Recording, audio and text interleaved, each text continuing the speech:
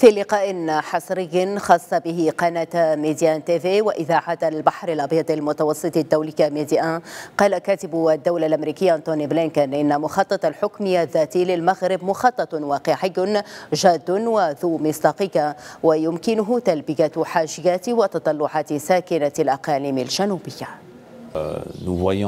نرى مخطط الحكم الذاتي الذي يقترحه المغرب مخططا ذا مصداقية وجادا وواقعيا أعتقد أنه مخطط يمكنه تلبية احتياجات وتطلعات ساكنة الأقاليم الجنوبية هناك عمل مهم يقوم به المبعوث الأممي إلى الصحراء ستيفان دي ميستورا ونحن ندعمه وناقشت الموضوع مع صديقي ناصر بوريتا وهذا أمر سنتابعه.